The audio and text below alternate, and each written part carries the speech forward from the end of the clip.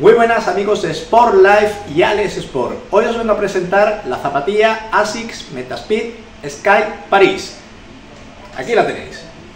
Es la tercera versión de la saga Metaspeed Sky y viene con unos cambios que dirías yo ciertamente profundos.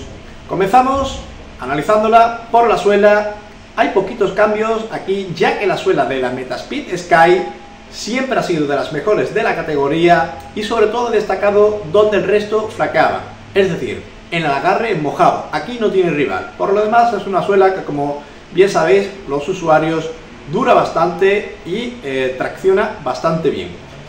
Pasamos a la media suela, aquí hay cambios muy profundos, sobre todo en la geometría, así como en el compuesto. El compuesto de media suela Sigue siendo el mismo, pero ahora es un poco más amable, más mullido, un tacto más blando.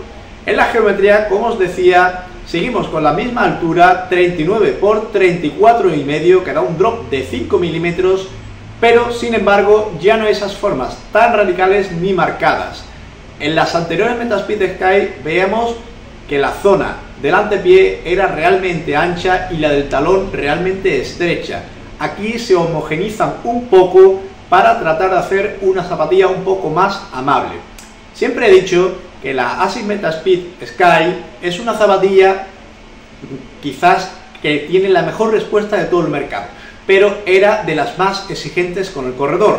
Asics trata con esta nueva geometría de media suela y con, y con este compuesto un poco más amable que sea una zapatilla más versátil, que podamos estirarla más en distancia y sobre todo que más usuarios puedan acceder a ella.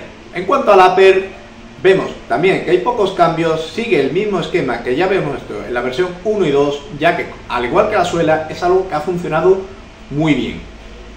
En definitiva, Axis suaviza un poco su zapatilla de condición con placa de carbono para hacerla más versátil a todos los corredores.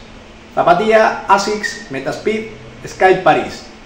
Si quieres seguir enterándote de novedades, dale a suscribirte al canal y por supuesto regálanos un like. Hasta luego.